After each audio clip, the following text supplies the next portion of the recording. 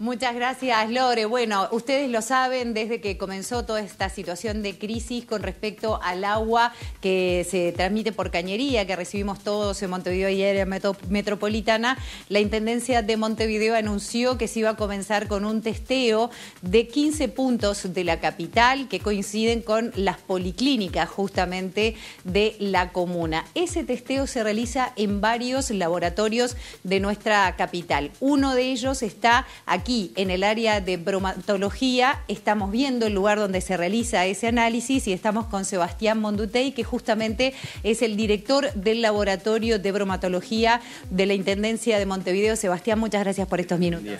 ¿Cómo están? Estamos en un lugar enorme donde hay muchos laboratorios, puntualmente este es el que se adaptó justamente para realizar este estudio porque aquí se hacen los de los metales pesados. Sí, el laboratorio es muy grande, nosotros tenemos este, cometido el análisis de los alimentos que se comercializan en Montevideo. Este, tema particular no es el métier nuestro, nosotros no, analizamos agua de red, pero visto la situación que está sufriendo el país, este, se dispuso, se, este, se acomodó este área de trabajo donde hoy somos unos cuantos este, haciendo tareas semanales. Este, las muestras vienen tres veces a la semana. Vamos a mostrarlas. Estas son las muestras que llegan de los 15 puntos, entonces que, como decíamos, coinciden con las policlínicas. Sí, efectivamente. Policlínicas, algún centro odontológico, llegan lunes, miércoles y viernes, este, 15, 15, muestras que son extraídas por otro laboratorio también de la Intendencia, que es el, es el de evaluación de la calidad y control ambiental.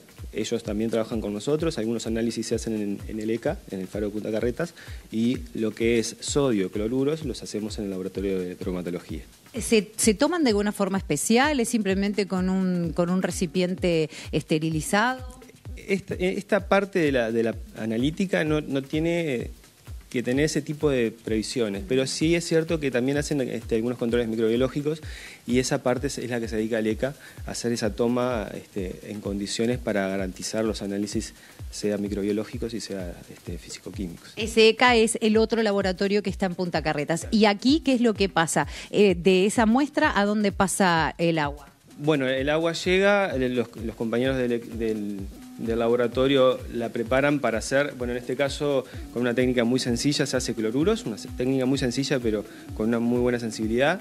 Este, se analizan los cloruros en agua, es una titulación. Acá se están analizando, o sea, ¿qué estamos viendo acá? Esto es una, es una ureta, es, una, es un material graduado que nos permite este, dispensar un reactivo, en este caso es nitrato de plata, que va a reaccionar con los cloruros que están en, el agua. ¿Eso es lo que está pasando acá? En, realidad, esta parte es para hacer sólidos totales. Acá no, tenemos todavía preparado nada porque todavía hoy no se empezó a trabajar. Eh, se toma la muestra, se le agrega el indicador, que es el amarillo que está ahí, que es el cromato de potasio, y esa, ese, este nitrato de plata reacciona con el cloruro que está en el agua. ¿Qué es el nitrato de plata? Y va a generar un precipitado. Va a generar precipitado ¿Un precipitado es que cae el agua? Eh, en realidad sí, es un, es un, es un sólido que, se va formando y se ve, es muy visible, y que el indicador este, lo que nos marca es cuando ya no hay más cloruros en el agua, el nitrato de plata ya no va a reaccionar más con los cloruros y va a reaccionar con el cromato, y ese indicador va a pasar de ese color amarillo a un color rojo. Entonces ese es el punto final de la titulación y con esos cálculos, que es, un volumen este, conocido, de una concentración de nitrato de plata conocida, sacamos la concentración de cloruros que están, están en el agua.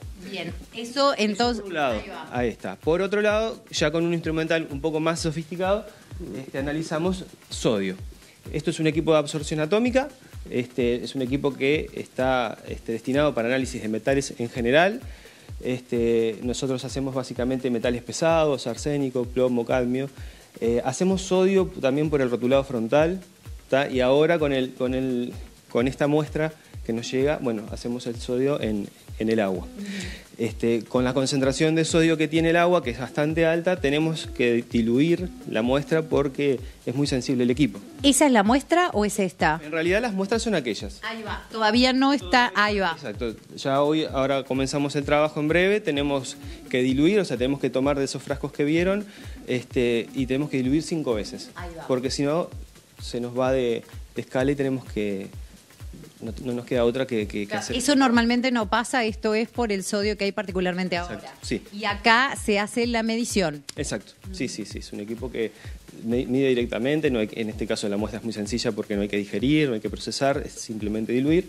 Este, y bueno, estamos teniendo cerca de eso, 45 muestras de agua de red, además de las aguas embotelladas que justamente por el consumo tan alto que tenemos en estas épocas, no podemos perderle el ojo, entonces estamos tratando de llegar a todos los puntos de Montevideo, a todas las empresas que hay, incluso las empresas del interior que por esta resolución nueva este, están comercializando sin tener la habilitación de Montevideo, pero sí teniendo Ministerio de Salud Pública y la habilitación de origen, entonces estamos tratando de abarcar la mayor cantidad de productos que se están comercializando. ¿Cuánto tiempo en total lleva el análisis, el testeo de una muestra? Son este, de una muestra, en realidad tratamos de hacerlos por tándem, pero en el día tenemos las, las, 15 muestras con los dos análisis, incluyendo incluso las aguas de, envasadas que también están dentro de, ese plan. Pero en el día estamos informando. Generalmente los informes están en, en, la página de la Intendencia a la una de la tarde, bueno, y estamos comenzando tal vez el día anterior a última hora y terminando antes de mediodía para poder informar. Interesantísimo, muchísimas gracias por estos minutos. Gracias. Y recordamos que esas empresas del interior que, como lo decía Sebastián, pueden comercializar por este decreto del agua embotellada aquí en Montevideo, es enviando un correo electrónico. Toda la información está en la página web de la Intendencia. Volvemos con ustedes a estudios. Bien, Vero, muchas gracias.